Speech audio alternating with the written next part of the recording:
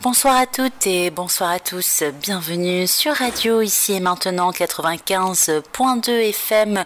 On se retrouve ce soir dans le cadre du magazine Santé et Spiritualité et j'ai le plaisir d'accueillir pour cette émission Isabelle Loading. Isabelle, bonsoir. Bonsoir. Euh, comment allez-vous? Très bien, très bien. C'est un grand plaisir d'être sur vos ondes. Eh bien, merci euh, d'avoir accepté euh, notre invitation, Isabelle Leding. Vous êtes euh, thérapeute, enseignante en shiatsu et médecine traditionnelle chinoise. Vous avez également écrit plusieurs ouvrages tout au long de cette émission. On va apprendre à vous découvrir et en savoir un petit peu plus par rapport à votre pratique.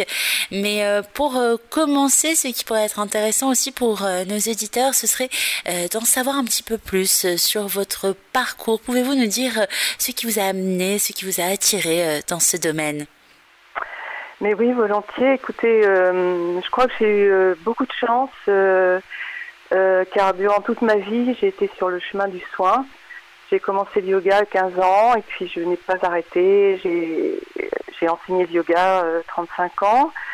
Et au, au, fil de ce parcours yoga, je me suis intéressée vivement au shiatsu. J'ai rencontré le shiatsu, la pratique du shiatsu et l'enseignement ensuite euh, et en parallèle de la médecine traditionnelle chinoise. Euh, j'ai été formée en acupuncture, shiatsu, euh, pharmacopée chinoise diététique par maître Tokuda, qui est maître zen et, médecin. Donc c'est un moine médecin. Donc il a évidemment un parcours et une qualité de soins particulière de, par ces, ces deux casquette, si l'on peut dire. Donc euh, voilà, je chemine, je chemine, euh, et, j'ai été passionnée vraiment par la médecine chinoise parce que elle est en accord total avec la nature. pour comprendre les, principes fondamentaux, pour les appliquer, pour se mettre en route. bien sûr, il faut 12-15 ans d'études, malgré tout, mais c'est clair, c'est simple parce que on nous parle de, mouvements énergétiques à l'intérieur du corps euh, qui sont euh, ressemblants au mouvement du vent, au mouvement euh, de la chaleur du soleil, à des montées, à des descentes, les fameux yin-yang. Là, je ne vais malheureusement pas m'étendre sur le sujet du yin-yang, mais donc voilà, fascinée parce que c'était abordable, parce que les patients pouvaient même comprendre de quoi il s'agissait. On, peut expliquer, et c'est ce que je vais essayer de faire à travers surtout la diététique chinoise ce soir, on peut expliquer euh, les malaises, on peut expliquer euh, les soins, pourquoi, comment, sans, jargon, si je peux dire. Euh, et en l'occurrence, donc, j'ai donné des cours de, de, de shiatsu, médecine chinoise, de, de, nombreuses années. Maintenant, je m'occupe de mes, de mes anciens pour la formation de pharmacopée, et puis je, je donne toujours des consultations et euh, des conseils diététiques, des conférences. Enfin voilà, je continue ma route. Mmh. Euh, en effet, aujourd'hui, on va surtout euh, s'intéresser à l'importance de l'alimentation dans la médecine traditionnelle chinoise, mais pour mieux comprendre le fonctionnement de la, médecine chinoise, pouvez-vous nous dire, Isabelle Loding, quels sont justement les principes, le fonctionnement de la médecine chinoise? Qu'est-ce qui différencie la médecine chinoise la médecine traditionnelle oui, alors écoutez, les principes sont simples. Euh, on s'occupe de l'homme dans sa globalité, c'est-à-dire que vous veniez pour un mal de genou, un mal de tête, un problème de sommeil euh, ou une maladie plus grave, on va euh, vous observer, poser un diagnostic sur l'ensemble de, vos énergies. donc on va, grâce à des méthodes de diagnostic, les pouls, la langue, enfin tout ce que l'on peut entendre sur cette médecine, euh, on va déterminer quelles sont les fonctions organiques et psychiques et émotionnelles qui sont perturbées et euh, chercher donc les soins qui vont non seulement euh, traiter l'organe éventuellement déficient, si vous avez des maux d'estomac ou des problèmes de sommeil, essayer de vous apaiser, ok, bien sûr, mais pourquoi, pourquoi avez-vous mal l'estomac? Pourquoi avez-vous des problèmes de sommeil? Comment s'est passée euh, la chute au moment qui vous a créé un mal de genou, etc. Et euh, donc considérer l'être dans sa globalité, c'est-à-dire le remettre sur pied dans son ensemble, quel que soit euh, le malaise. Et euh, pour cela, la médecine chinoise et japonaise, puisque moi j'ai appris avec un maître japonais, mais c'est très très similaire, ce sont exactement les mêmes bases. Euh, en médecine chinoise, les outils sont l'acupuncture. Alors ça c'est évidemment euh, tout ce que l'on connaît en France. Je, suis allée voir un acupuncteur, c'est de la médecine chinoise. Ça m'a pas fait grand chose, c'est souvent ce que l'on entend, mais heureusement ça marche aussi. Mais ce que je veux dire, c'est que ça ne se résume pas à ça. La médecine chinoise, c'est oui, l'acupuncture, mais également la pharmacopée, le massage, alors ce sera le shiatsu pour les japonais, ce sera le tuina pour les médecins euh, chinois, la diététique chinoise, les exercices de santé et également euh, un accent mis sur les états émotionnels que l'on va traiter non pas par la verbalisation, mais grâce justement à la diététique, aux exercices, aux petits aiguilles d'acupuncture, à la pharmacopée chinoise et japonaise. Voilà, donc on s'intéresse, je crois que c'est ça qui est fondamental, c'est que on s'intéresse à l'homme dans sa globalité et on le replace, cet homme ou cette femme ou cet enfant, euh, dans le contexte, dans son environnement. C'est-à-dire qu'on va toujours poser des questions sur euh, l'environnement immédiat, la maison, l'appartement, le jardin, votre activité, est-ce que vous restez longtemps assis ou debout, ou euh, voire couché, tout cela a une réelle importance. ça se rapproche peut-être comme ça en point de vue de, l'homéopathie, questionnement d'un homéopathe qui s'intéresse également beaucoup à, aux activités, à l'environnement et qui traite aussi dans la globalité. Alors euh, Isabelle, euh, la médecine traditionnelle euh, chinoise accorde tout de même une grande importance à la prévention. Pouvez-vous nous en dire davantage? Oui, la prévention, c'est vrai, j'ai omis d'en parler. C'est-à-dire que la vie n'est que mouvement.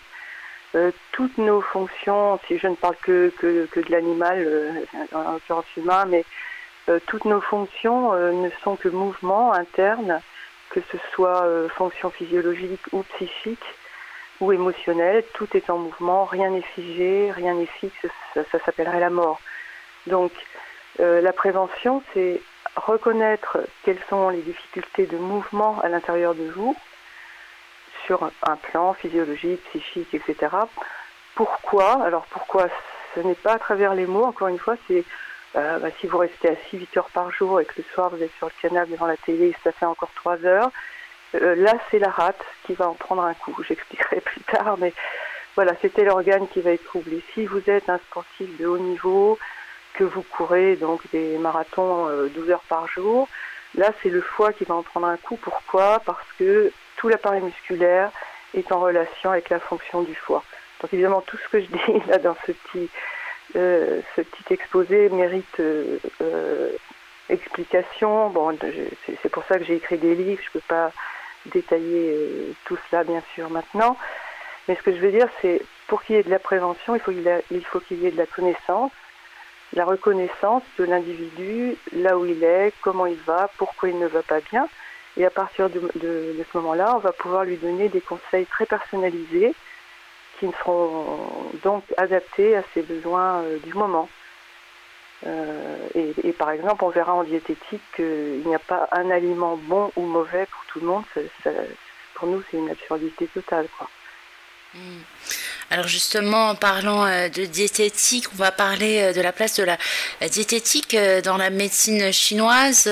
Pouvez-vous nous en dire plus? Quelle est l'importance de l'alimentation dans la médecine traditionnelle chinoise?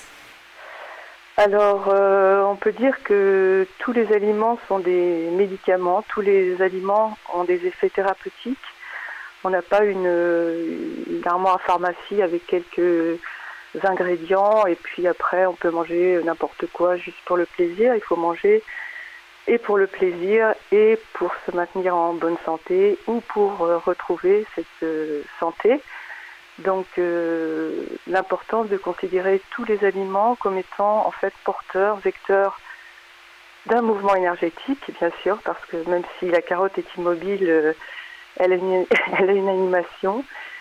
Et euh, cette animation interne, qui va prendre certaines caractéristiques que je vais expliquer, cette animation interne de la carotte va relancer en nous, ou peut-être freiner, ça dépend du moment, une certaine activité digestive ou autre. Donc déjà, ça c'est fondamental d'imaginer qu'il n'y a pas deux listes, une blanche et une noire, avec des aliments autorisés et interdits. Tout dépend pardon, de votre état de santé du moment et ça ce sera euh, le rôle du, médecin que de déterminer euh, le dosage des aliments, etc. il a le rôle de nutritionniste, euh, mais ça fait partie de son, rôle global, quoi, en fait. Mm. Et ensuite, donc, ce qui différencie la, diététique chinoise de, la diététique occidentale, c'est ce sont les critères de choix des aliments. C'est-à-dire en, dans le cas de la nutrition, on va parler de la France ou de l'Occident, on va considérer les aliments euh, selon leur taux de glucides, lipides, protéines, euh, euh, vitamines, voilà.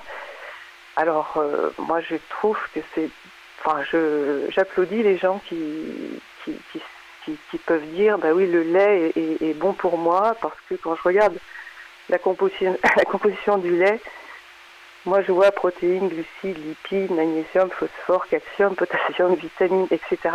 Or, euh, n'ayant pas fait d'études scientifiques, je ne sais pas du tout si le lait est bon pour moi, en fait.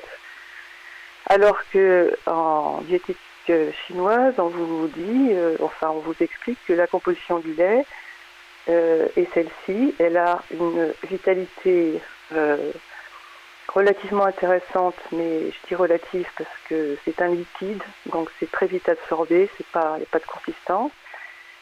Et on va décrire le lait comme étant euh, de nature fraîche, de saveur douce, et on nous apprend que euh, l'énergie du lait va, c'est le terme consacré, va vers l'estomac, les poumons et le cœur. Donc tous les aliments vont être décrits de cette façon, sous, les caractéristiques euh, d'une nature, d'une saveur, d'une odeur, d'une texture, euh, du jing, je vais reparler de cela, le jing, euh, la vitalité essentielle. Donc tous ces mots, nature, saveur, odeur, couleur, texture, vous, quand vous les évoquez, vous les retrouvez, ces principes, dans la nature. Je vous donne un exemple, je vais le développer tout à l'heure. Euh, la nature des aliments, euh, c'est soit frais, soit froid, soit tiède, soit chaud, soit neutre. Donc que fait le froid? Il fige, il ralentit. Que fait le chaud? Il active. Ça, je peux le constater euh, si je mets une casserole d'eau sur mon balcon. Quand il fait moins 10, l'eau se prend en glace et si je la mets sur le poêle, elle se met à bouillir. Donc si vous voulez, les termes, les caractéristiques euh, propres aux aliments n'ont rien d'ésotérique. On, peut, on est tous à même de, les comprendre. Donc, euh, cette caractéristique-là, enfin, ce, point de vue-là, qui est vraiment celui de l'observateur des phénomènes naturels, me semble euh, vraiment particulièrement intéressant parce que abordable et en même temps très pointu, puisque cette diététique a quand même plus de 2000 ans. Et sans avoir vraiment euh, bougé d'un poil, euh, on peut continuer à se soigner selon ces principes. Merci bien pour ces explications. Alors justement, en parlant des conseils diététiques occidentaux et chinois, est-ce qu'on peut associer ces différents modes d'alimentation? Alors, je trouve difficile. Il y a des, certains auteurs sinologues qui font. Euh, personnellement, après quelques décennies de d'études, je ne vois vraiment pas l'intérêt. On peut faire des passerelles parce que euh, l'huile, par exemple, euh, de saveur douce, l'huile d'olive et de nature fraîche va, dit-on, va vers la fonction du foie et de la vésicule biliaire. Donc un scientifique euh, occidental pourra nous dire, euh, bah, vous voyez, l'abus de graisse est nocif, euh, est nocif pour le foie et la vésicule biliaire. Bon, voilà, ça c'est ce que j'appelle un raccourci. Et je, ne pense pas qu'on puisse faire une passerelle parce que les termes, ce sont deux langages totalement différents. Il y, a, du chinois et il y a du français. Si vous ne parlez pas couramment les deux langues, déjà ce sera compliqué. Et ensuite, euh, ben, par exemple, la langue chinoise est en idéogramme, ce sont des images. si je regarde une image, je n'entends pas le mot. si je regarde un idéogramme, je n'entends pas le, mot que signifie cet idéogramme si je suis française. On peut juste voir, moi je vois juste l'image. Donc, et d'un, je, ne vois pas l'intérêt de faire le passerelle parce que euh, compliqué au niveau des langages et des critères de choix. Et deuxièmement, euh, fondamentalement, comme il n'y a pas en diététique chinoise d'aliments bons ou mauvais, euh, mais qu'il y a un terrain à soigner ou, à soutenir, je, je n'entends pas ce discours en diététique occidentale. J'entends arrêter tout de suite le gluten le lait, euh, manger plus d'amandes, ne faites pas ci, ne faites pas ça, etc. Donc on n'est pas sur la même planète. Pour moi, on n'est pas sur la même planète et c'est dommage en fait de, ne pas se concentrer sur un. Enfin, moi j'aime bien creuser un sillon, euh, choisir une voie, aller jusqu'où je peux pour euh, vérifier et encore vérifier et encore vérifier. Vous pensez que toute ma famille est passée par la diététique alors on n'entend plus euh, Isabelle. Bien, la connexion est rétablie. Euh, merci euh, Isabelle, désolée, je ne sais pas ce qui s'est ah, passé. Mais voilà, j'ai expliqué aux auditeurs que l'émission se faisait à distance et par téléphone. Voilà, donc on était en train de vous écouter par rapport aux différents conseils diététiques occidentaux et chinois. Finalement, d'après ce que vous étiez en train de nous expliquer, ce n'est pas aussi évident que ça d'associer ces deux types euh, d'alimentation, n'est-ce pas? Non, je, crois que ça prête à confusion en fait.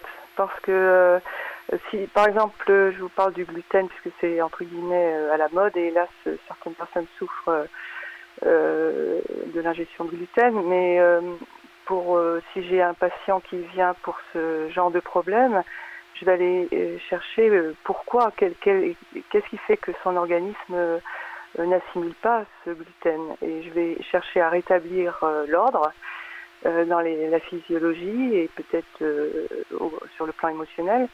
Je vais voir les associations d'aliments. Est-ce que c'est le pain qui n'est pas assimilable ou c'est l'association beurre, pain, fromage?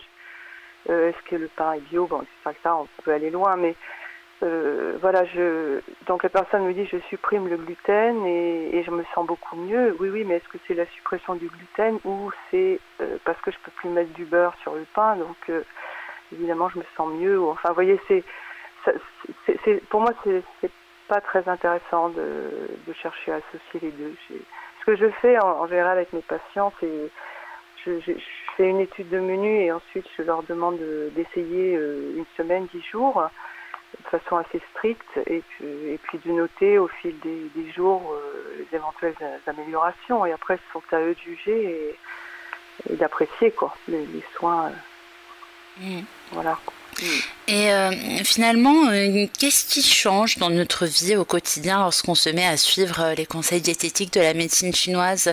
Quel est l'intérêt? Pouvez-vous nous en dire un petit peu plus?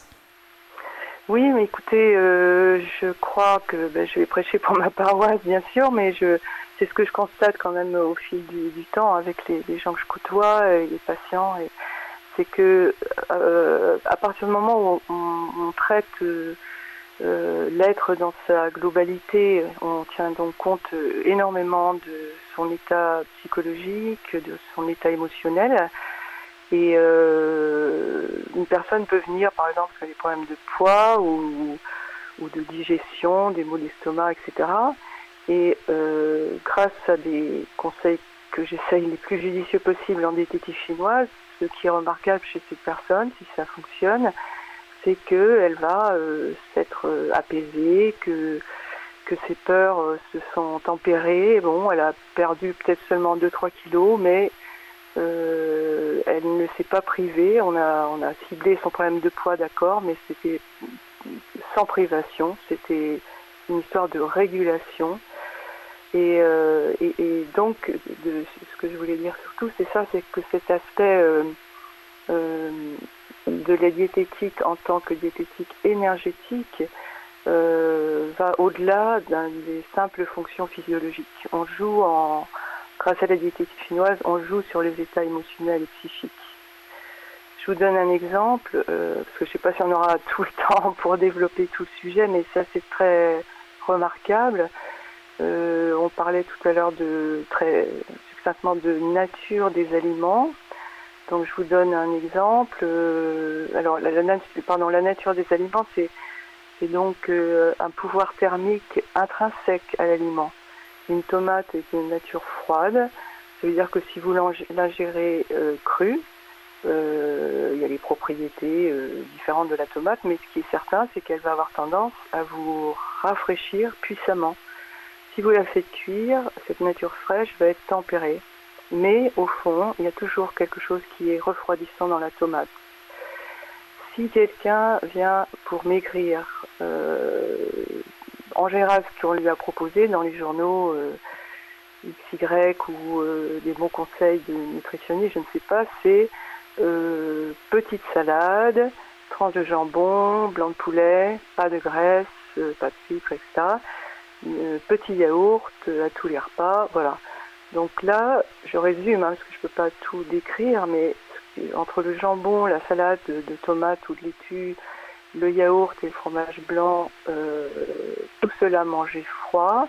Ce sont tous des aliments qui vont être de nature fraîche ou froide et qui vont avoir un pouvoir donc doublement refroidissants puisqu'ils ont ce pouvoir intrinsèque de rafraîchir et on les mange crus. Donc par exemple, euh, entre la, diététique chinoise va totalement à, l'encontre de, de la mode du cru parce que le cru euh, eh bien, est rafraîchissant certes, refroidissant, refroidit l'estomac, etc., etc. Et donc la question sera faut-il euh, me refroidir ou me réchauffer à l'intérieur? Donc si je reviens à cette personne qui veut maigrir et qui me dit je mange euh, tous les jours du, cru et surtout pas de graisse et du froid, etc. Et ça se digère bien et c'est très léger, etc. Mais je perds pas de poids. Je bois 2-3 litres d'eau par jour à température ambiante, mais c'est que de l'eau et c'est froid on la met, met peut-être pas au frigo, mais c'est tout de même du froid qui est ingéré. Qu'est-ce qui se passe dans l'estomac de cette personne?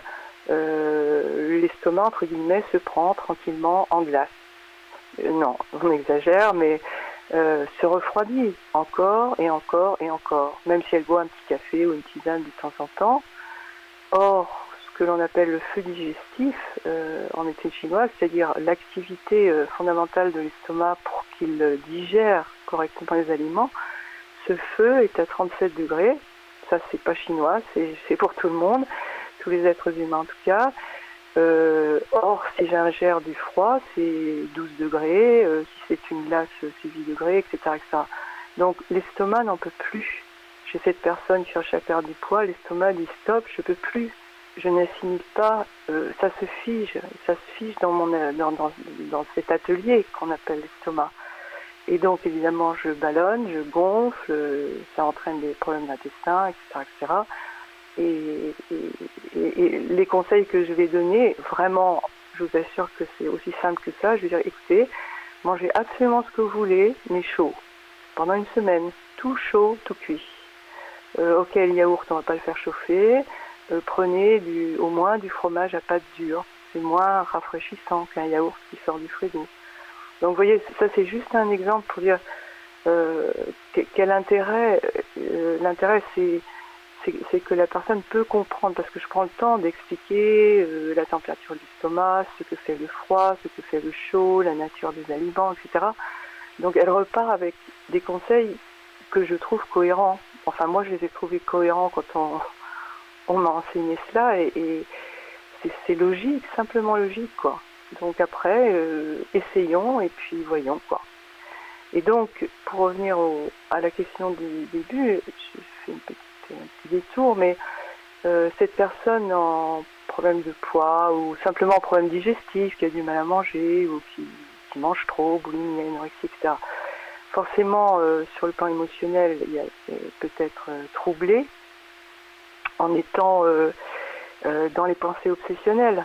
Mais bon sang, quand ai-je perdu poids? Mais est-ce que je vais rentrer dans mon maillot de bain? Est-ce que je, vais euh, enfin euh, perdre ces kilos depuis 10 ans qui se sont accumulés? Est-ce que euh, je vais arrêter de manger? Est-ce que je vais réussir à manger? Enfin, tout, tout, ce qui tourne autour, de la nourriture peut, ce n'est pas le cas pour tout le monde, mais peut devenir obsessionnel, pensée obsessionnelle. Et ces pensées obsessionnelles ont un impact direct parce qu'il y a, un flux continu entre l'esprit et le corps. En médecine chinoise, il n'y a pas d'un côté le cerveau et de l'autre côté le corps eh bien, ces pensées obsessionnelles, ces, angoisses, ces soucis euh, tapent directement sur l'estomac et sur la rate, sur ces deux fonctions organiques, beaucoup plus que sur les reins ou sur le cœur ou sur le poumon. Donc ça devient un cercle vicieux.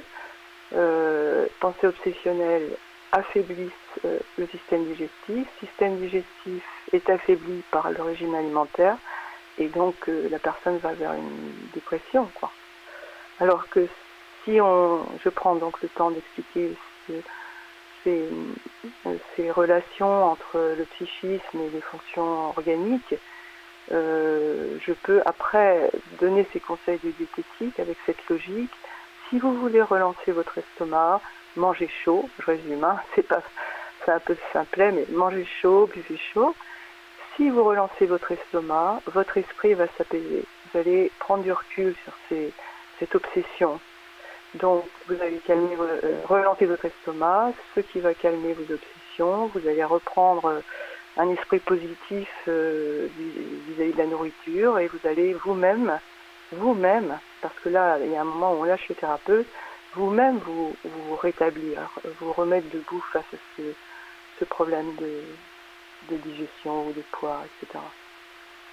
Voilà, c'est un peu mm. long, hein, mes explications. Mais... Pas du tout. Euh, eh bien, c'est très enrichissant. En tout cas, merci bien, Isabelle euh, Loading. Nous allons poursuivre la discussion juste après euh, cette petite pause promotionnelle où nous allons partager avec les auditeurs les informations vous concernant. On se retrouve donc dans quelques instants. À tout de suite. Merci. Notre invité ce soir sur Radio Ici et Maintenant 95.2 FM dans le cadre du magazine Santé et Spiritualité, c'est Isabelle Loading, thérapeute, conférencière, écrivaine, enseignante en shiatsu et médecine traditionnelle chinoise. Elle vous propose des consultations de shiatsu en Bourgogne Sud, à Saint-Eugène. Vous pouvez contacter Isabelle Loading par email à l'adresse mail suivante isabelle.loading.net isabelle.loading.net alors je vous appelle loading ça s'écrit L a A, donc 2A, D-I-N-G, isabelle.loading.net, son site internet shiatsu-nonindo.net Isabelle organise des conférences et des journées de formation assez régulièrement. Pour plus de précision et pour suivre toute l'actualité d'Isabelle Leding, n'hésitez pas à consulter son site internet. Je vous rappelle donc le site c'est shiatsu nonindo.fr. Nonindo, ça s'écrit N-O-N-I-N-D-O. Et c'est un tiré du milieu et puis, euh, sachez que si vous tapez Isabelle Loading sur un moteur de recherche, eh bien, vous tomberez directement sur son site internet. Encore une fois, je vous reprécise euh, l'épellation de Loading L-A-A-D-I-N-G. Et puis, euh, voici, euh, nous allons voir ensemble à présent euh, les titres des quatre ouvrages d'Isabelle Loading que vous pouvez vous procurer dans toutes les librairies de France. Eh bien, il y a premièrement l'astrologie chinoise, manuel pratique de l'énergie des neuf étoiles. Il faut savoir que cet ouvrage est épuisé, n'est plus disponible mais en papier, mais disponible en PDF téléchargeable donc sur Internet. L'autre euh, ouvrage d'Isabelle Leding, c'est Les cinq raisons euh, de l'énergie, la médecine chinoise au quotidien. Édition euh, Désiris, donc les cinq saisons de l'énergie, la médecine chinoise au quotidien. Ensuite, vous avez Shiatsu, voie d'équilibre, toujours aux éditions euh, Désiris. Et ensuite, Diététique chinoise, Nourrir la vie, édition euh, Désiris également. Toutes ces informations et précisions, vous pouvez les retrouver sur le site internet de d'Isabelle Loding. Le site internet, je vous le rappelle encore une fois, shiatsu-nonindo.fr. C'est donc la fin de cette euh, page promotionnelle. On se retrouve dans 30 minutes pour euh, un rappel de ces différentes informations.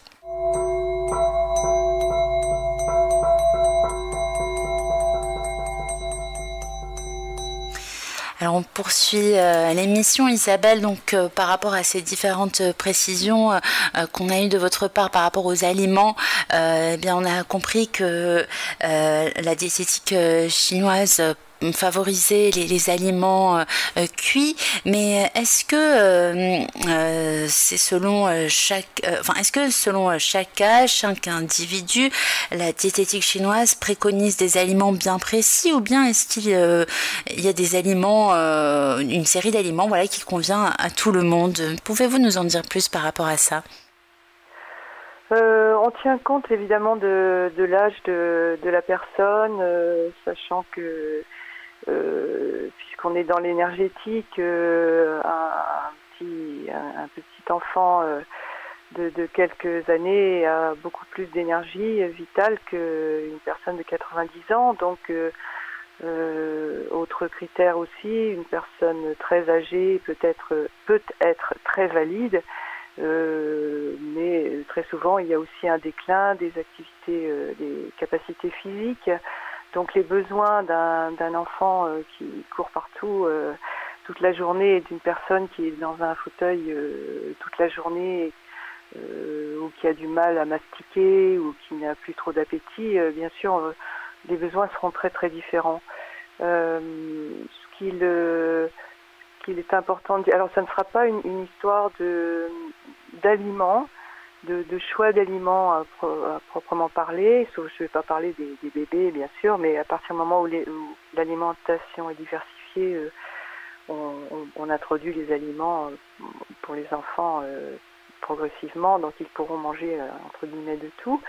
Mais le, point, l'importance, le point le plus important, c'est est-ce que cet individu, cet enfant, cette euh, personne mûre, cet adolescent, cette personne très âgée, euh, va pouvoir digérer ce plat, ce plat qu'on lui présente euh, Voilà, est-ce est-ce que ça va être un aliment digeste?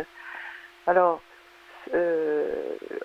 nouveau point de vue par rapport, enfin, oui, nouveau point de vue, on peut dire par rapport à l'importance du cuit, par rapport au cru c'est que euh, un aliment qui est cuit, alors pas besoin qu'il soit très cuit, hein, un aliment qui est cuit est, un aliment transformé. Alors on entend les nutritionnistes occidentaux euh, euh, hurler en disant mais justement il n'est pas question de transformer un aliment, nous on veut manger du vivant, il faut manger du cru, c'est bourré de vitamines, de soleil, de, je veux de la vitalité à tout prix. Et moi je dis mais peux-tu peux-tu digérer cette vitalité Comment es-tu, toi? Est-ce que tu es assez en forme? Est-ce que ton appareil digestif est assez en forme pour digérer euh, un plat de crudité, plus euh, les, yaourts et les jus, euh, ça aussi c'est très à la mode, les jus de légumes, etc. Le tout effectivement cru et bourré de vitamines.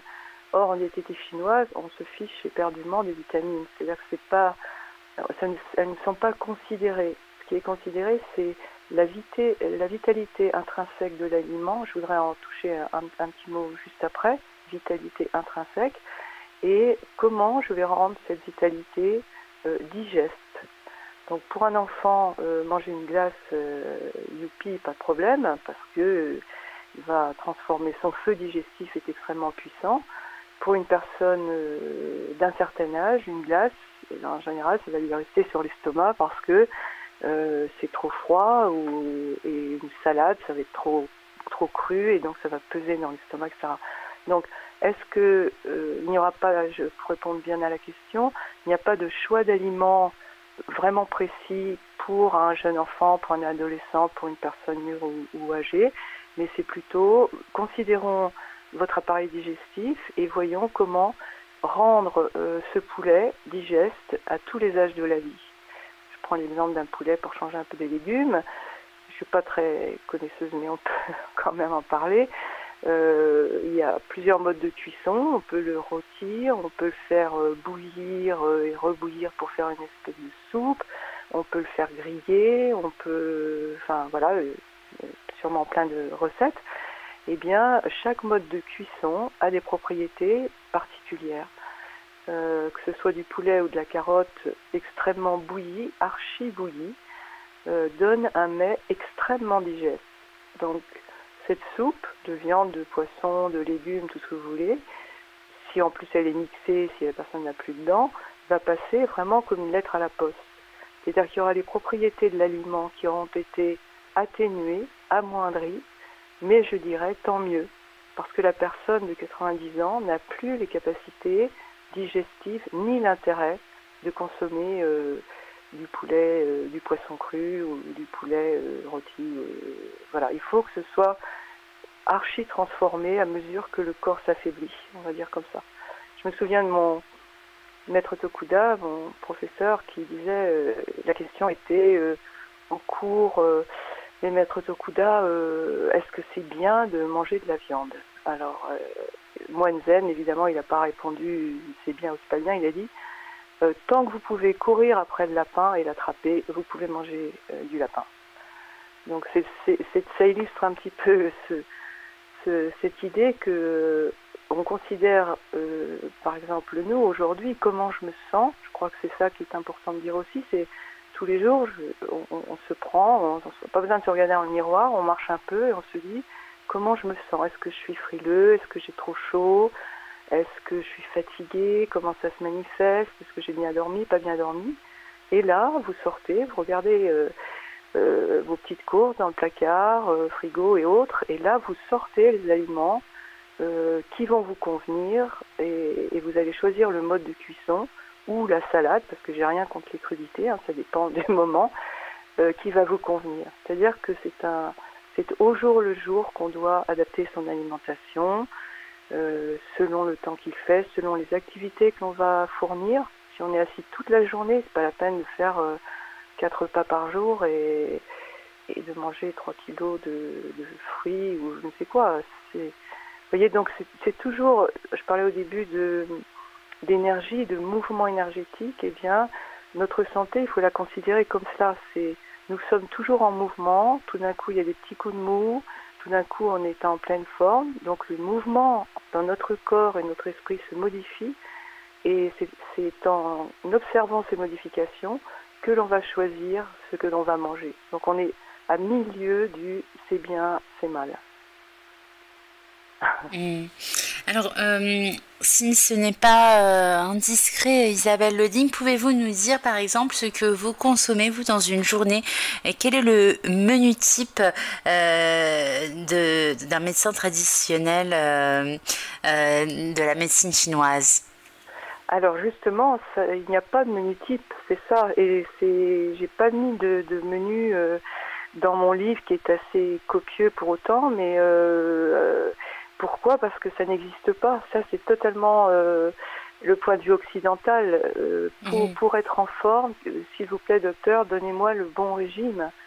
Euh, et ça n'est pas possible parce que ça, ça dépend vraiment. Si je suis contrariée, je peux l'être, hein, l'estomac noué, je, ne vais rien manger. Et puis voilà, je mangerai deux, deux, heures plus tard. Ou si, enfin, évidemment, là, je vais pas m'étendre là-dessus parce que tout le monde est bien au fait qu'il est important de manger euh, les légumes et les fruits de saison, euh, voir les viandes, poissons, fromages, tout cela euh, à une saison. Donc ça c'est très important parce que la vitalité de la tomate en été, on ne la retrouve pas du tout en hiver. Donc ça ne sert à rien de manger des tomates en hiver parce qu'elles ont perdu tout leur pouvoir énergétique en quelque sorte. On mange, on mange juste un, quelque chose de rouge qui a du jus, mais voilà. Donc euh, je suis désolée, il n'y a vraiment pas de menu type, euh, de même qu'il n'y a pas... Euh, en médecine chinoise, on dit l'énergie de l'estomac est, est, très très active entre 5h et 7h du matin. Donc certains vont dire, bah mais voilà, c'est à ce moment-là qu'il faut faire le grand repas puisque les aliments vont être très très bien traités à ce moment-là. Donc ça, c'est un point de vue intellectuel. pas faux, une théorie. moi, je dirais que ça dépend. Si, si je n'ai pas faim, je vois pas pourquoi, et c'est mon cas, je mange pas le matin. si, je, n'ai pas faim, je ne vois pas pourquoi je me forcerais pour répondre à une horloge biologique, etc. Donc je veux manger avec plaisir, euh, à, des rythmes réguliers, et personnellement c'est deux fois par jour. Euh, un plat très simple avec un minimum d'associations. Je trouve que c'est beaucoup plus digeste de ne pas euh, faire entrée, plat, fromage, dessert. quelque chose, c'est bon. Je, trouve que, enfin, je suis assez dans l'idée de la sobriété de toute façon, donc ça me convient. Mais voilà, je vais, je vais employer des euh, par exemple, là, nous rentrons dans l'automne, on va, on va avoir des, ronds, petits marrons, citrouilles, châtaignes, noix, euh, euh, fruits secs. Hein. ces, légumes, fruits secs, pardon, oléagineux et ces, potirons, etc. Et carottes et, navets vont faire vont faire mes plats euh, quotidiens pendant trois mois, quoi, avec euh, quelques poireaux et quelques autres choses, et le tout agrémenté de, de pas mal d'épices euh, pour retrouver les différentes saveurs propres à la diététique chinoise. Alors à ce propos, je vous parle de parce que c'est une chose importante, c'est selon pour parmi les critères de choix des aliments on parlait tout à l'heure de leur nature, très succinctement. Euh, on pourrait parler des saveurs, des cinq saveurs, mais plus fondamentalement, il faut parler de la vitalité, parce que euh, là aussi, euh, on est assez loin du point de vue occidental. C'est-à-dire que si on pose sur la table une, châtaigne et, et, une carotte, sortie du jardin, et les deux en même temps, déterre la carotte, je la pose devant vous et je ramasse une châtaigne. C'est bientôt la saison. Donc je regarde ça et je me dis, qu'est-ce que je vais manger là Que vais-je choisir pour, euh, pour me booster un petit peu?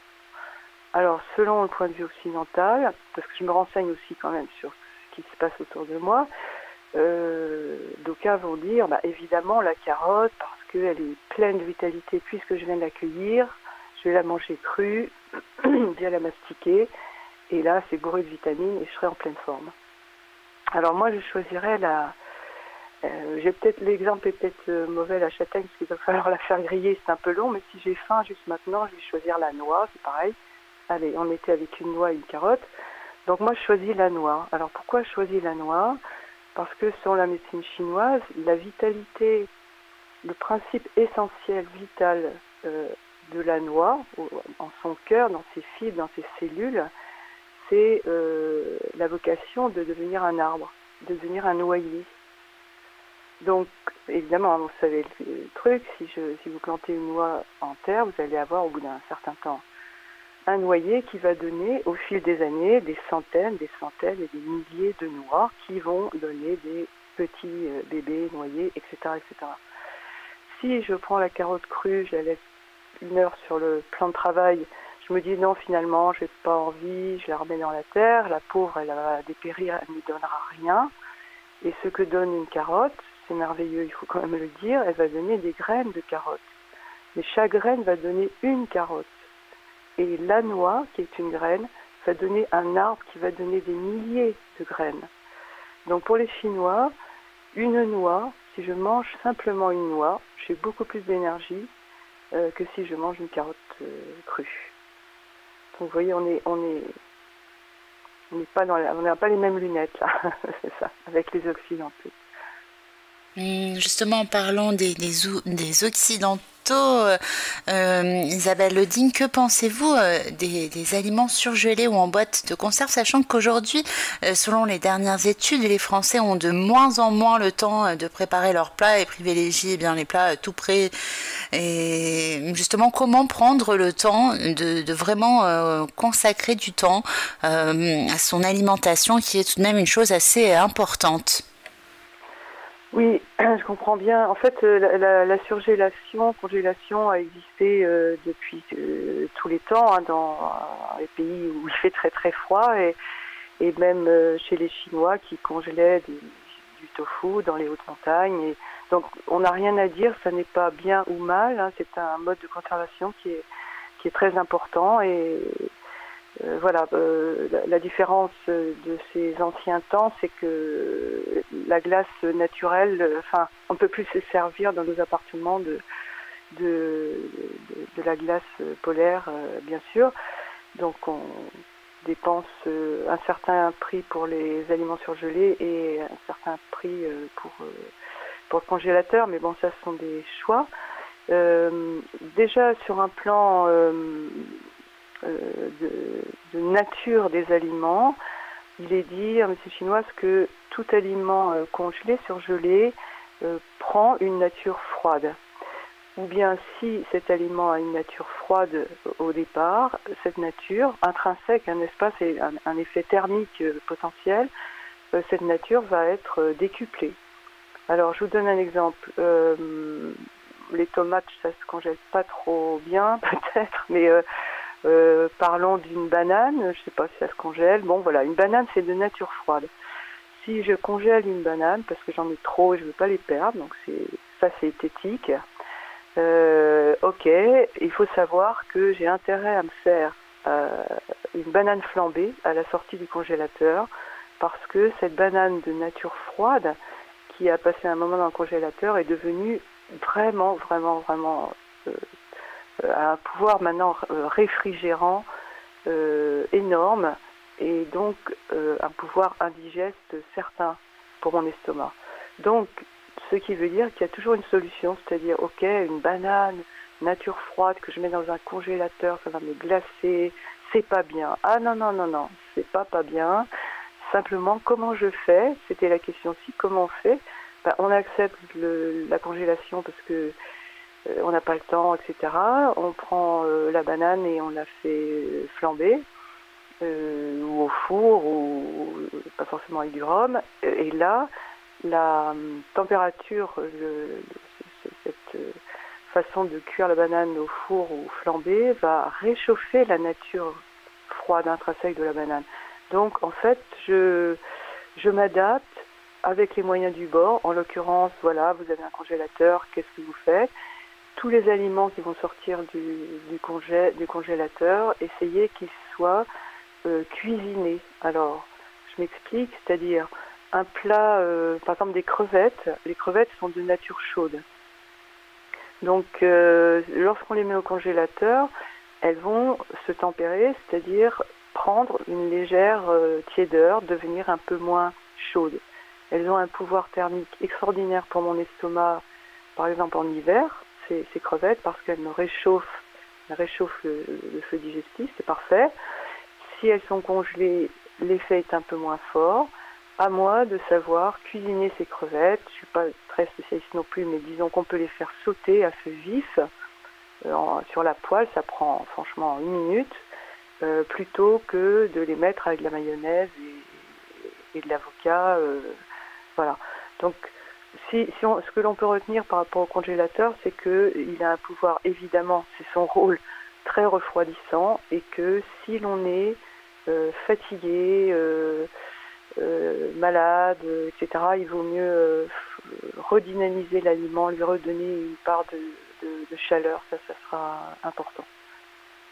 Et quant au, alors, par rapport aux aliments, s'il est possible, mon conseil ce serait, si vous pouvez congeler, alors ok, on admet, vous ne pouvez, vous n'avez que des produits congelés. Euh, si vous pouvez avoir des produits bruts à cuisiner, euh, c'est mieux que des plats euh, tout préparés. congélation et micro-ondes, c'est pas trop. sur le plan énergétique, c'est pas top, quoi. je suis en train de dire quelque chose de négatif tout d'un coup, mais disons que pour, pour, pour, maintenir votre vitalité, on est très très très loin de, du noyer, de la noix. Voilà. Donc après, ça peut être savoureux, ça va vite, mais en diététique chinoise, on va vous dire, mais c'est quoi la priorité? C'est euh, certaines personnes vont, vont, se plaindre constamment de, de, problèmes de santé, vont acheter 36 000 compléments alimentaires, euh, passer du temps dans les magasins pour aller chercher du surgelé, etc. Euh, pour moi, les repas sont super importants. Je consacre du temps à cuisiner parce que j'aime ça, mais je peux faire un repas pour trois personnes en un quart d'heure. Mais j'aurais consacré du temps à couper, à cuire, etc. Ça peut aller très vite ou ça peut prendre deux heures, mais pour moi c'est une partie. Si je prends garde à ma santé, ça passe forcément par l'assiette. On a le choix deux, trois, une fois par jour de d'aller mieux ou d'aller moins bien. Euh, donc pour moi c'est le passage, c'est la première chose à laquelle je pense, c'est que mettez-vous dans votre assiette Est-ce que vous pouvez modifier un tout petit peu euh, Voilà, ouais. Euh, alors justement Isabelle, alors je rappelle juste euh, aux auditeurs qu'on est toujours sur Radio ici et maintenant 95.2 FM en compagnie de notre invitée euh, Isabelle Loding, thérapeute enseignante en shiatsu et médecine traditionnelle chinoise. Elle a également écrit plusieurs ouvrages, euh, on en reparlera d'ici quelques minutes. Justement Isabelle, pour une personne qui en vous écoutant souhaite se mettre à suivre les conseils diététiques chinois, est-ce que ça risque d'être euh, difficile, compliqué au début euh? Oui, ce, ce que j'ai remarqué dans, mes cours et auprès de mes patients, c'est la difficulté, c'est justement de lâcher les principes euh, de la diététique occidentale. Mmh.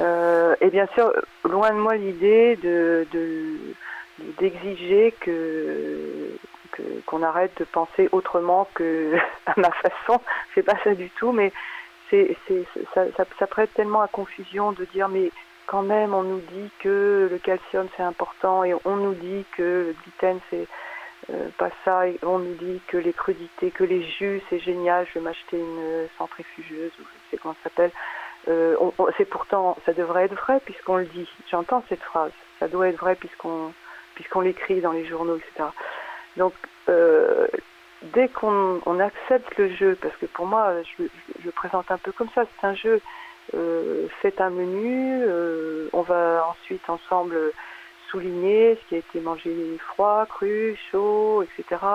Ok, je garde tous vos aliments, c'est ce que vous adorez. Euh, on va même garder les gâteaux, bien sûr, et la glace et le chocolat. Simplement, on va les répartir différemment dans la journée. On va alléger peut-être les quantités pour, voir euh, ce qui se passe, mais on garde euh, ce que vous aimez et on, et on modifie simplement la présentation, la présentation dans le sens euh, association d'aliments, mode de cuisson, vous passez du tout cru à ok, continuez tout cru, mais buvez une tisane ou un café avant le repas, avant votre verre de jus de fruits, et à, à la fin, après votre verre de jus de fruits afin que votre estomac ait un peu de chaud avant d'absorber le liquide froid et un peu de chaud pour finir. Donc pour, pour, garder euh, son énergie stable.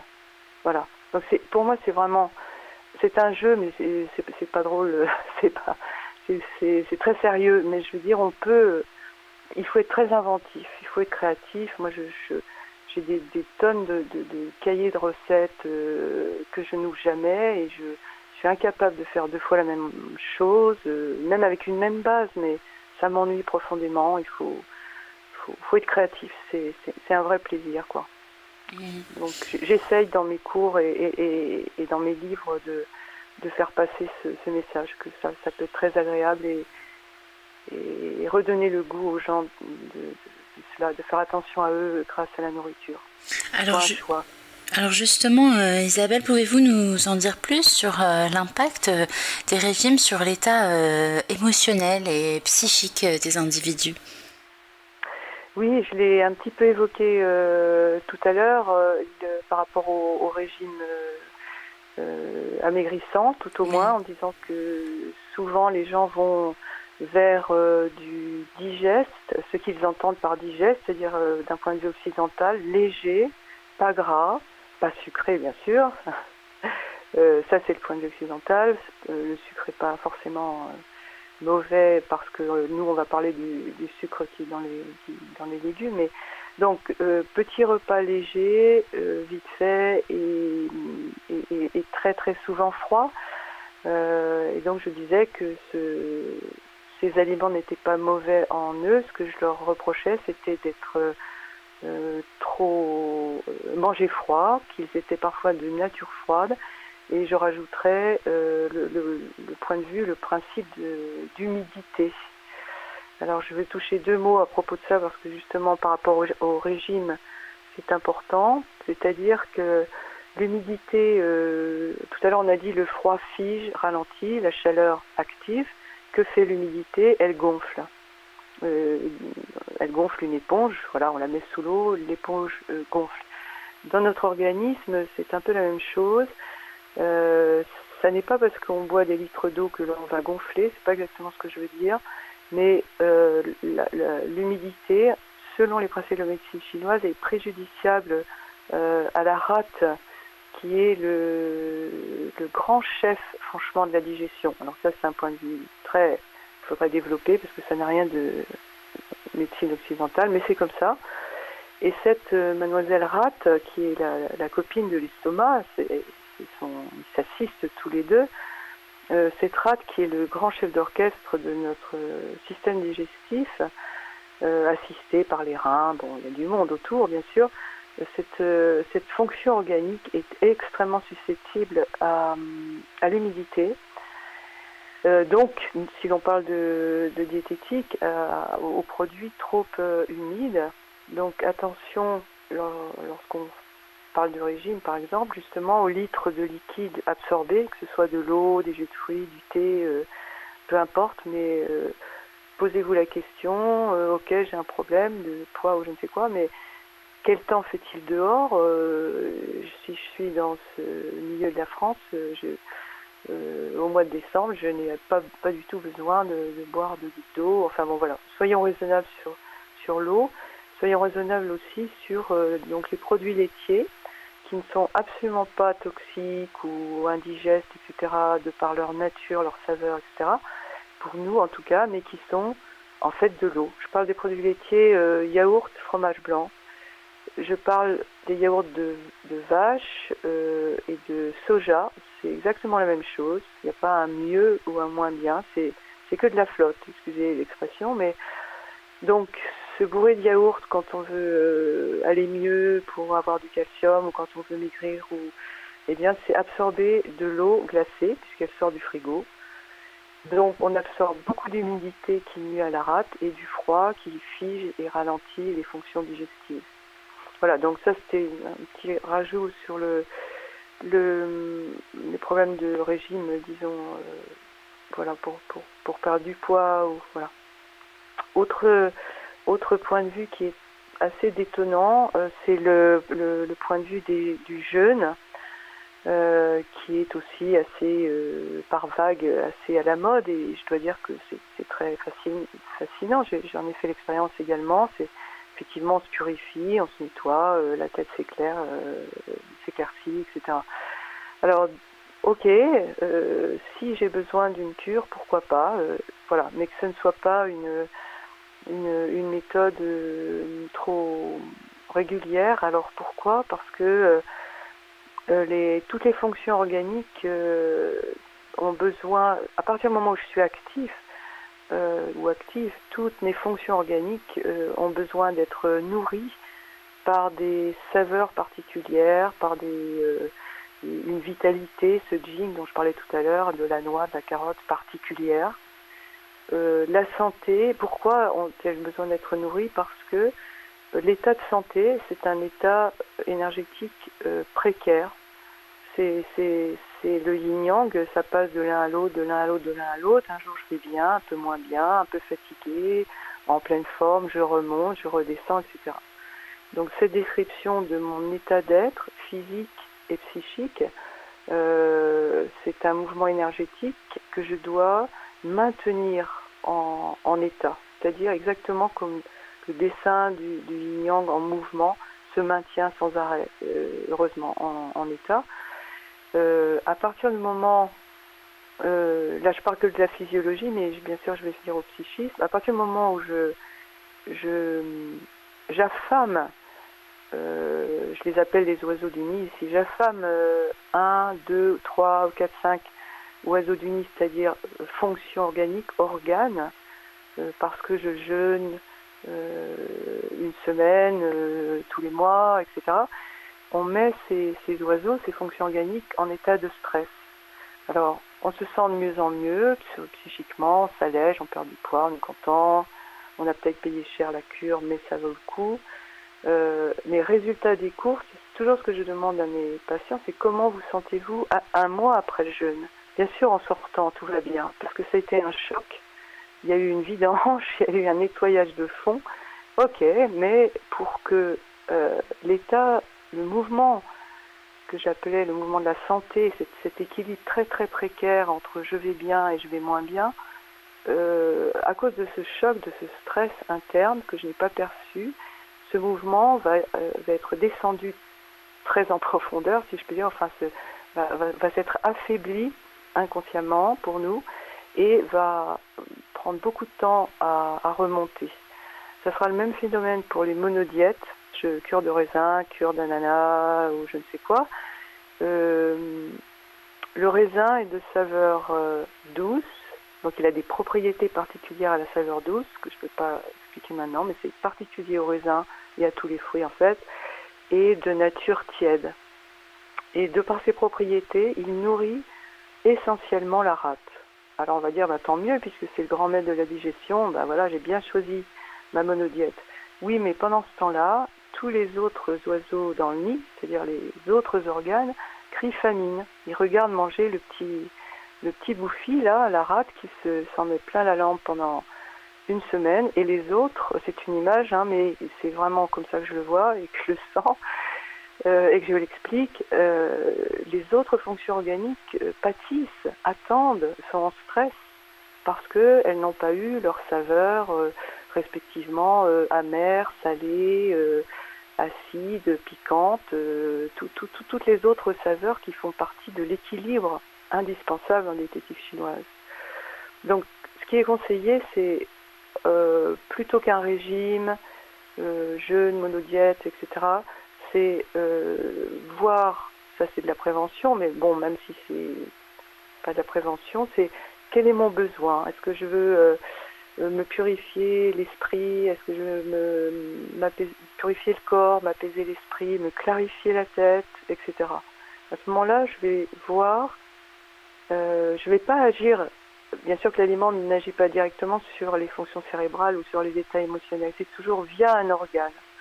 Donc je vais aller voir mes manques, euh, quelles sont mes fonctions organiques qui sont faibles euh, et qui, parce qu'elles sont faibles, me mettent dans un état de tristesse profonde ou un état de colère folle ou un état de souci, d'angoisse. Sachant que par exemple l'état de tristesse profond dont je n'arrive pas à sortir est imputable au poumon, l'état de colère dont je ne sors pas, c'est plutôt le foie, l'état d'angoisse, c'est plutôt la rate, etc. Donc à partir du moment où je euh, reconnais, j'identifie mon émotion perturbatrice que je veux éliminer par le jeûne, la monodiète ou je ne sais quoi, je vais aller euh, donner des aliments de façon un peu plus prononcée à cet oiseau, à cette fonction organique qui est en manque je suis triste, j'ai du chagrin, je sors d'un deuil, etc. Qu'est-ce qui va nourrir au mieux mon poumon? Alors je ne vais pas donner uniquement des aliments au poumon, ce que les autres vont réclamer. Donc je, je, nourris tout le monde, mais je vais favoriser, donner un petit peu plus à, la fonction euh, poumon. Et donc, via l'assiette, en dosant les aliments euh, pour avoir des saveurs plus prononcées pour l'un ou pour l'autre, je vais euh, retrouver, maintenir mon équilibre ou retrouver un équilibre physiologique qui forcément euh, aura un bon impact équilibrant sur mon état psychique et émotionnel. D'accord Isabelle, alors euh, merci bien pour euh, toutes ces explications et ces précisions, ça passe extrêmement vite, on arrive déjà eh oui. à la dernière partie euh, et puis c'est le moment à présent de, rappeler les différentes informations vous concernant. Donc on va poursuivre la discussion dans quelques instants, dans quelques minutes, on va faire une petite pause musicale et ensuite on va faire aussi la seconde pause promotionnelle avant de se retrouver pour aborder peut-être d'autres sujets aussi euh, qui, pourront être, qui pourront être euh, intéressants pour nos auditeurs. Donc euh, restez à l'écoute, tout de suite on passe à la deuxième page promotionnelle.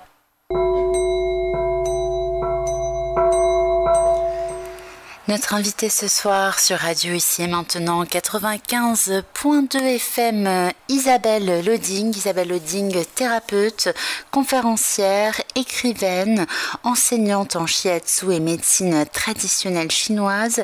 Elle vous propose des consultations de shiatsu en Bourgogne-Sud à Saint-Eugène.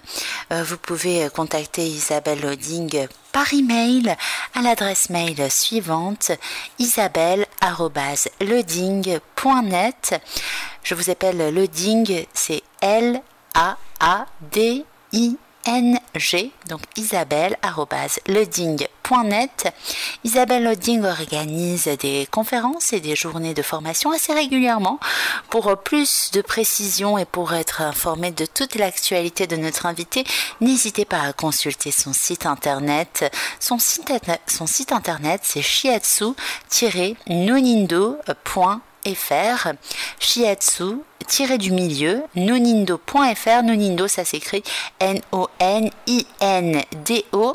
et puis vous avez la possibilité de tomber directement sur le site de notre invité en tapant tout simplement dans un moteur de recherche Isabelle Loading, donc Isabelle euh, plus loin, Loading, L-A, avec 2 euh, donc L-2-A-D-I-N-G. Et puis à présent, euh, je vais partager avec vous euh, les titres des quatre ouvrages d'Isabelle Loding que vous pouvez vous procurer euh, dans toutes les librairies de France. Vous avez Diététique chinoise, Nourrir la vie des éditions Désiris. Vous avez également Shiatsu, Voix d'équilibre, toujours aux éditions Désiris. Et je vous cite également donc le quatrième ouvrage, c'est les cinq saisons de l'énergie, la médecine chinoise au quotidien, toujours aux éditions euh, des iris. Et puis euh, cet ouvrage n'est uniquement disponible en PDF, c'est l'astrologie chinoise, manuel pratique de l'énergie des neuf étoiles. Alors vous pouvez donc euh, pour euh, retrouver ces ouvrages également consulter le site d'Isabelle en allant sur shiatsu-du milieu nonindo.fr.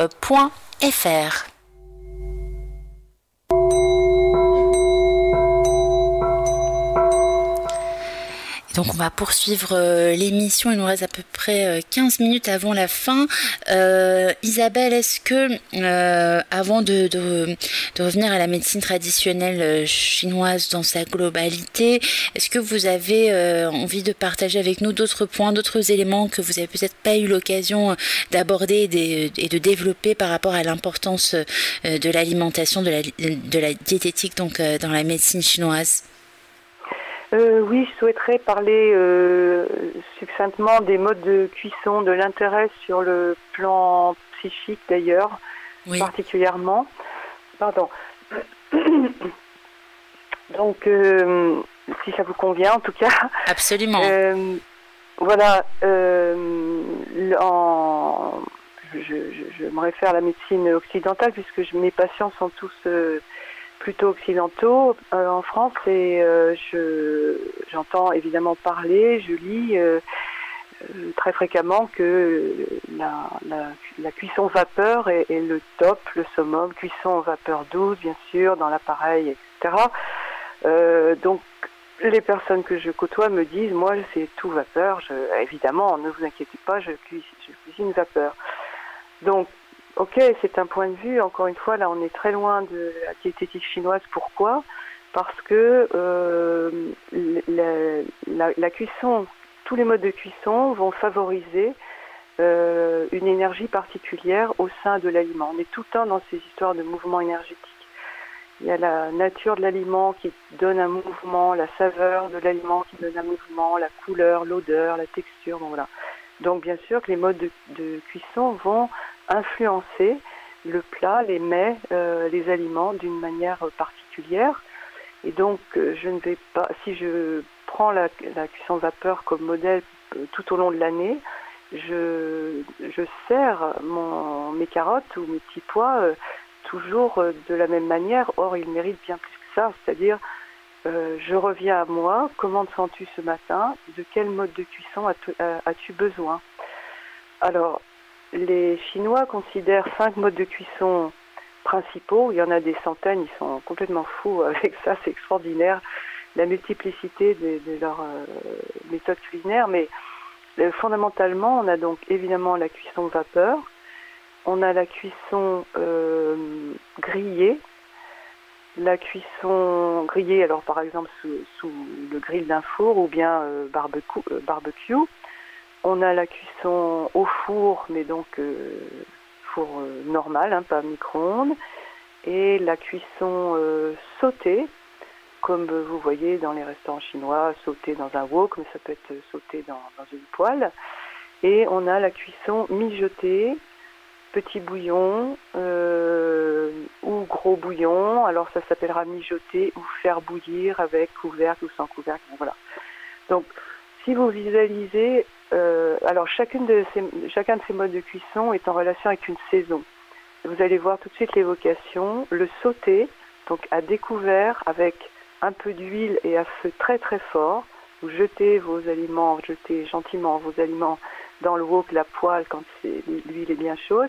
Ça pétille dans tous les sens, ça jaillit, ça monte vers le ciel. Et ça, c'est la cuisson printemps. Euh, le mijoté, je vous en donne deux parce qu'on ne va pas avoir le temps. Le mijoté, c'est la cuisson de l'automne. Pourquoi? Parce que on met les mêmes aliments, peut-être, enfin des aliments de saison, peu importe, euh, dans un faitout avec très très peu d'eau ou une petite sauce et on met un couvercle et on va faire cuire à feu très très doux. Quand on s'approche de la, il faut vraiment s'approcher de la marmite pour entendre bloup bloup bloup bloup bloup. Là, on sent que l'énergie est en train de descendre. On n'est plus du tout dans, pardon, dans l'énergie du printemps vers l'hiver, on est dans l'énergie de l'automne, on, commence à mettre la couverture un peu plus chaude sur nous, sur nos pieds la nuit. Donc, si vous choisissez entre ces deux modes de cuisson, euh, comment allez-vous choisir entre ces modes de cuisson? Eh bien, selon, par exemple, justement votre énergie du moment. Si vous êtes, euh, vous avez un rendez-vous important dans l'après-midi euh, et vous êtes un peu stressé, je vous conseille le sauter. Sauter au wok, euh, comme je viens de l'indiquer, ou à, la poêle, ou peu importe. Ce qui va, pourquoi? Parce que ça va, excusez-moi, cela va vous dynamiser, donner le coup de fouet, donner l'effet sucre, l'effet café, si vous voulez. Euh, c'est l'énergie vive du printemps qui va vous animer et physiologiquement et psychiquement euh, voilà, vous ouvrez les yeux et vous vous élancez vers votre rendez-vous. Si vous êtes euh, un peu énervé, en colère, euh, ça, ça, va pas vous tourner en rond, vous êtes fatigué, vous êtes vous avez besoin de vous sentez tout le corps lourd, pesant, tiens, je dois être en train de couver quelque chose, je suis pas bien, je sais pas. Et ça vous tape un petit peu aussi sur le plan psychique, émotionnel pourquoi pas euh, pour un repas ou deux de la cuisson mijotée parce que ça vous ça va vous donner une forme de restauration. Vous mettez le couvercle sur vous, vous vous protégez. C'est comme si vous étiez vous-même un peu dans la marmite, ou tout au moins vous vous associez à ces énergies qui sont à l'œuvre euh, euh, dans la marmite en silence. Donc il y, a une forme, c'est une cuisson qui donne une forme, si je peux dire, d'apaisement et de recentrage de euh, oui, recentrage. Donc pour repartir, euh, euh, quand on n'est pas bien, si, on n'arrive pas à identifier le pas bien, c'est dommage parce que justement là, là on a les subtilités, par exemple, de ces modes de cuisson qui vont favoriser un état mental, psychique plutôt qu'un autre. voilà. Que donne la vapeur? La vapeur, puisqu'on en a parlé quand même au début, c'est la cuisson euh, de l'hiver. Euh, c'est une cuisson qui ne pénètre pas l'aliment du tout de la même manière que dans le mijoté. Dans le mijoté, le mijoté délite les aliments et là la vapeur traverse. Euh, pour moi, en gros, c'est une, ce n'est pas une, c'est une, comment, pardon, un mode de cuisson qui doit être utilisé avec parcimonie parce qu'il donne beaucoup de vitalité au cœur de l'aliment, mais pour que l'être humain reste tranquille, paisible. Ce n'est pas du tout dynamisant comme, euh, euh, comme euh, mode de cuisson. C'est une mode de cuisson hiver. Or, l'hiver, traditionnellement, on devrait rester en retraite, posé chez soi, ne pas trop sortir, pas trop travailler. C'est bien vite dit, mais c'est ça la tradition. Donc cette cuisson favorise les reins, favorise euh, le centrage, l'intériorisation. Or, tous, autant que nous sommes peut-être hyperactifs, est-ce qu'on a besoin toute la journée d'intériorisation, de centrage, de lenteur, d'apaisement dans ce sens-là C'est pas top, quoi. Donc, vous voyez, faites varier, même si vous n'avez pas, je ne peux pas donner toutes les explications sur tous les modes de cuisson, on peut mélanger bien sûr les modes de cuisson, commencer par le sauter, puis le mettre en sauce, ça va mélanger, euh, ça va donner des mouvements énergétiques euh, euh, très copains qui peuvent être assez intéressants aussi. mais voilà, pensez, je dirais en résumé par rapport à toute l'émission, c'est comment je me sens, comment je choisis à manger, eh bien je vais, je vais le savoir en prenant le temps de sentir qui je suis, comment je suis, psychiquement, émotionnellement. Et ça, ça peut se faire en brossant les dents. Euh, on n'a pas besoin forcément du coussin de méditation pour ça, si vous êtes pressé. Comment je me sens ce matin? Et ça sera différent de demain et d'hier. Et, donc vous ferez en fonction de vos carrément de vos états d'âme, quoi, si je peux dire, et de votre santé physiologiquement parlant aussi, mais là ça demande bien sûr un peu plus de développement, euh, puisqu'il n'y a pas de repas type euh, comme je vous l'expliquais. Alors euh, Isabelle, il nous reste euh, juste quelques minutes avant la fin de cette émission. On avait quelques questions euh, d'auditeurs, mais bon, on n'aura pas le temps. Et puis on n'a pas eu vraiment l'occasion aussi d'avoir quelques explications, aussi quelques détails par rapport à vos ouvrages. Peut-être une prochaine fois, ce sera avec plaisir. Mais pour ces cinq dernières minutes qui nous restent avant la toute dernière page promotionnelle, est-ce que vous avez un, voilà, une petite conclusion, un petit mot pour euh, la fin de cette émission. Eh bien, écoutez, euh, qu'est-ce que je peux dire? La diététique euh, chinoise, c'est nourrir la vie, comme, le titre de mon bouquin le dit, mais c'est dans tous les sens que vous voulez donner à, la vie et en vous et à l'extérieur, puisque la nourriture, l'alimentation, c'est aussi le partage, c'est la reconnaissance de, de tous ceux qui ont, œuvré pour euh, euh, mettre des produits euh, dans notre assiette. et ça, pour moi, ça compte énormément. d'être reconnaissant devant une assiette, quelle qu'elle soit, vraiment quelle qu'elle soit, à chaque repas, remercier, être, exprimer de la gratitude envers tous les êtres et l'univers qui nous permettent d'être en vie grâce encore à, ces aliments, entre autres en tout cas. Donc voilà. Merci, beaucoup euh, Isabelle. Alors euh, on va tout de suite passer à la toute dernière page promotionnelle avant euh, voilà, de, se retrouver juste pour se dire au revoir. Donc restez à l'écoute chers auditeurs et chères auditrices. C'est le moment de prendre votre papier crayon pour noter ou vérifier si vous avez bien noté les coordonnées et les différentes informations sur notre invité. Ce soir, euh, nous avons eu le plaisir d'accueillir dans le cadre du magazine Santé et Spiritualité sur Radio, ici et maintenant 95.2 FM, euh, Isabelle Loding, thérapeute, écrivaine, conférencière et enseignante en shiatsu et médecine traditionnelle chinoise. Euh, vous pouvez retrouver toutes les informations la concernant sur son site internet, son site internet shiatsu nonindo.fr. Isabelle Loding organise régulièrement des conférences et des journées de formation. Alors justement pour avoir plus de détails, vous pouvez consulter le site shiatsu-du-milieu nonindo.fr. Alors nonindo ça s'écrit N-O-N I-N-D-O. Et puis euh, cette possibilité aussi de tomber directement euh, sur euh, son site en tapant dans un moteur de recherche Isabelle Loading, tout simplement Isabelle Loading. Alors Loading ça s'écrit L-2-A-D-I NG. Et puis je partage avec vous tout de suite euh, le nom des différents ouvrages de notre invité. Vous avez premièrement euh, l'astrologie chinoise, manuel pratique de l'énergie des neuf étoiles, disponible uniquement en PDF. il y a également les cinq saisons de l'énergie, la médecine chinoise au quotidien aux éditions Désiris. Et vous pouvez retrouver également dans toutes les librairies de France l'ouvrage Shiatsu, Voix d'équilibre, toujours aux éditions Désiris. Et pour terminer, Diététique chinoise, Nourrir la vie, édition Désiris datant donc de 2018.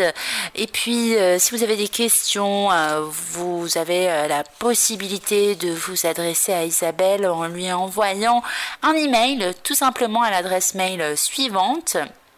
Donc c'est isabelle.leding.net et le ding, attention, ça s'écrit donc, je vous le rappelle, L-2-A-D-I-N-G.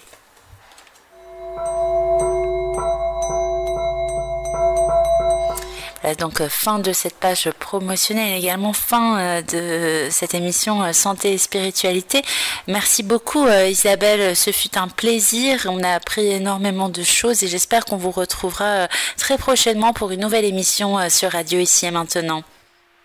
Ah ben, c'est moi qui vous remercie Morgane, merci de votre accueil et j'ai été très heureuse de partager ce moment avec vous. Eh bien, bon appétit. Merci beaucoup, merci, bon appétit en effet, et puis euh, euh, à très bientôt. Euh, encore une fois, ce fut un plaisir et je pense que les auditeurs ont apprécié également cette émission. J'espère que pour la prochaine fois, donc, on aura l'occasion aussi d'aborder les différentes questions et réactions des auditeurs puisqu'ils ont été nombreux à réagir sur le forum de la radio, le forum.fm et sur notre compte Instagram radio.rim.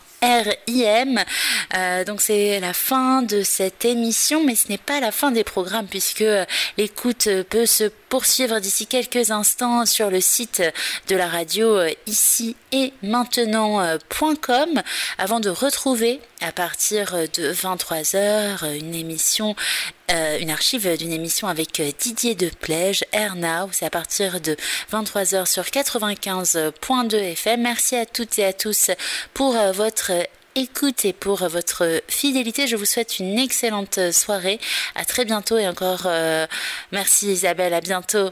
Au revoir. Bonne soirée. À bientôt.